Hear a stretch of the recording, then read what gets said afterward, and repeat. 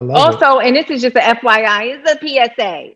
Mm-hmm. Yo, if I'm pulling in a half a million dollars and you got 38,000 on the books, king. Sorry. so one of my biggest struggles is that I've always worked harder. I've been the breadwinner or I've been more stable or and they've been great people and they maybe have ambition. I don't know if you can have the J and B relationship where both of y'all are super busy and you make time for each other. Like someone's got to be the more submissive or the one that's going to sacrifice. But I think that if you can, within a relationship, be able to identify the role, to your point, that a woman does play with, like, and that has value, equivalent to monetary value of being able to maintain a home, raise children. It's like just because you have money doesn't make you a leader. So it's like, let's just be realistic. I also see relationships that work where, you know, the, the, the roles have reversed, meaning like the woman is the breadwinner. I don't think that that means the expectations in terms of like, I still expect protection from you.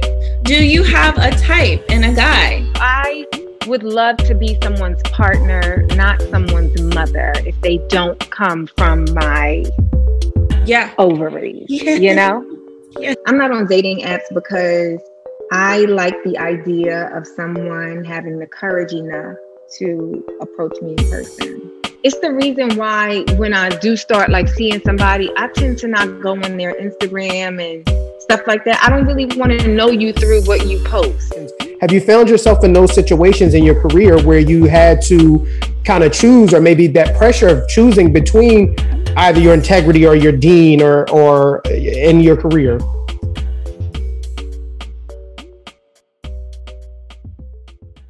Yeah. Well, to jump right into this icebreaker game, it's called Which Would You Rather? I'll give you two options and you just tell me which one you'd rather. Okay. Be, be stuck in an elevator with your soulmate or your crush.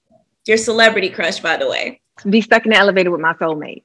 Period. Who's your celebrity crush though? Oh, um, Chris Brown. Chris Brown. You're like, Chris okay, Brown. okay. You, you. But I've uh, had another celebrity crush, but now he's like, I know him, so it's just like, you know. So what is he? Can we know who he was? No, okay, oh, no, no, because now I know him. So yeah, yeah, yeah. yeah. uh, Okay. Live on a deserted island with your family and never see your never meet your soulmate or with your soulmate and never see your family. Deserted island, can't get off the island. You got to pick one my loves, I'm here to talk about something very near and dear to my heart, which is representations of Muslims in television and movies. We definitely need more of it, and that's why I'm here because Muslima's Guide to Marriage is out right now. It's definitely so hysterical. You need to go on their Instagram, check out that trailer, watch that movie, get those tickets and watch that movie and support more Muslim people in movies, okay? Especially people of color. And look at this, look at the merch. Can we talk about how amazing this t shirt is? It's so powerful. I feel like it says everything I wanted to say. Um, I'm gonna show you guys the trailer right now so you can check it out. Enjoy. Go see it. It's always been Muslima and Musa.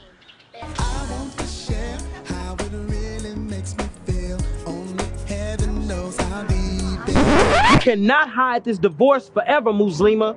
Soon as Yora dies off, Candace is converting to Islam before we get married.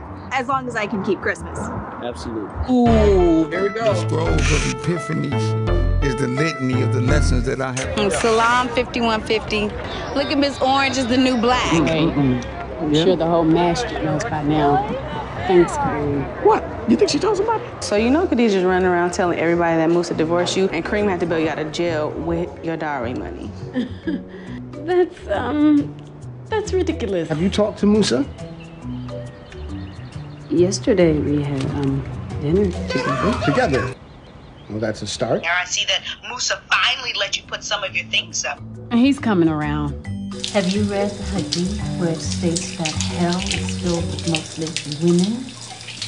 Excuse me? He was snatching people in front of the masjid. You didn't even have my back. I have on a dress. You said so yourself. Hey, tell me, have you seen her? Muslims don't do drugs. I'm looking for a believer, a Muslima. Uh, well, alright now.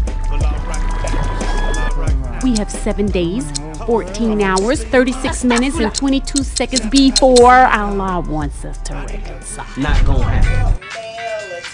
Well, then you need to come on down to boot camp, where we will make your. Oh, look at you! You're like a regular, like a like a rapper.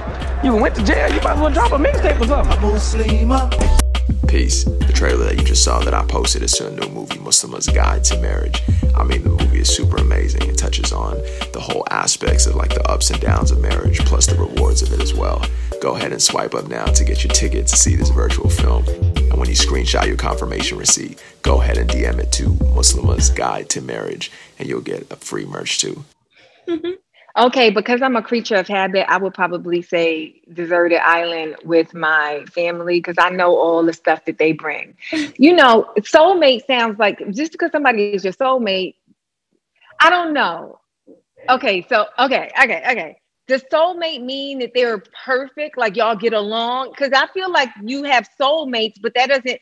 And the you thing don't end up in relationships with your soulmate. And that's the thing is that it always is up to interpretation because I believe that you can have a soulmate that's your best friend. I have a best friend who is totally my soulmate. So maybe it's that. But I think for this specifically, it would be romantic. It would be someone that you're married. I would hope that you marry someone who's your soulmate, even if they're not perfect, you know? Yeah, okay. So if it's my soulmate in in in the way that I idealize my soulmate, then I would choose my soulmate. Mm. I kind of like family as well, though, just because it's true. Like, you know, your family, you know what to expect. Yeah, you uh, you know what you're going to get. The soulmate, you know, y'all probably going to start, you know, having sex. Y'all probably will have kids, and then who knows how y'all going to raise a kid on a deserted island? I'm just And then saying, you start know, your, fa- and then you start your family anyway. yeah, yeah, yeah. Unemotional protector or someone who can't fight but is vulnerable.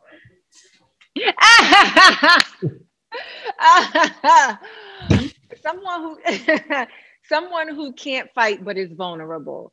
Um because the thing that i can do is i can make sure that we are never in a situation where he has to fight. But i i need him to be vulnerable. That's important. Yes, absolutely. Dream career job or dream wedding? dream career job. Sorry was that too easy We, we see which is more, uh, we get it. We get it. We're focused out here. Okay. Discover a new planet or invent a cure for a deadly disease. invent a cure for a deadly disease but what if the invention of the cure is on that undiscovered planet Mm. you see you see you see how my mind works do you see how my mind works It's options. We have to we have to be optimistic. We have to analyze. We get it. Um i would i would definitely want to cure like you know create the cure for a deadly disease Okay, okay. Go back in time and still have all the knowledge you have today or know the future from today. Look, Moses is like, what would I choose? Mm. oh moses you haven't played this game I'm just I'm I'm in my head. I'm playing it as well. um oh that's the toughest one because everybody wants the cheat code to a test but Right.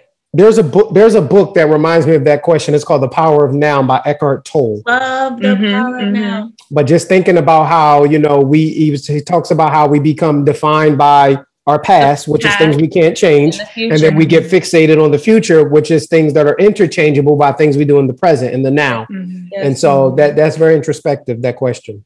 And you know what? Back to the future me. Give me, give me the, give, give me the, give me the atlas. I'm, I'm Biff. Negro, whatever. There you go. Would you rather marry an American or a foreigner?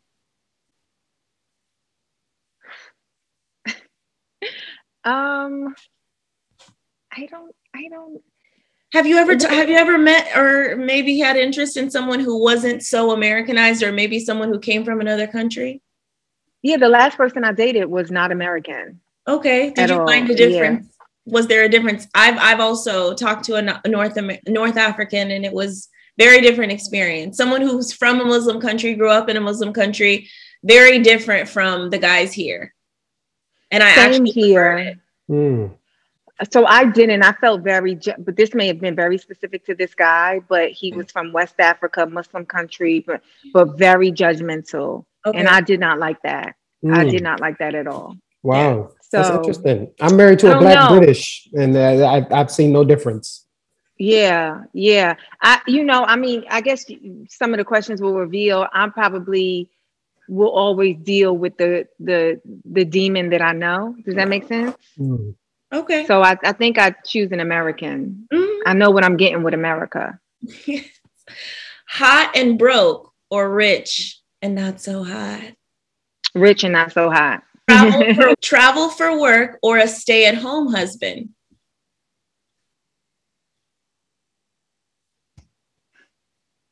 Travel for work. All right. Okay. Look, you like now I have to put the you putting things in perspective today. These might be the first times you ever asked your question, these questions. Okay. Today's So Chill sponsor is Stay Covered. Stay Covered is your one stop shop for your favorite ways to stay easy, breezy, beautiful, and covered. From covered dresses, bikinis for swimming, and even Muslima accessories, Stay Covered and Nikah and Chill has got you covered. Because when you use code Nikah and Chill, you'll get 25% off.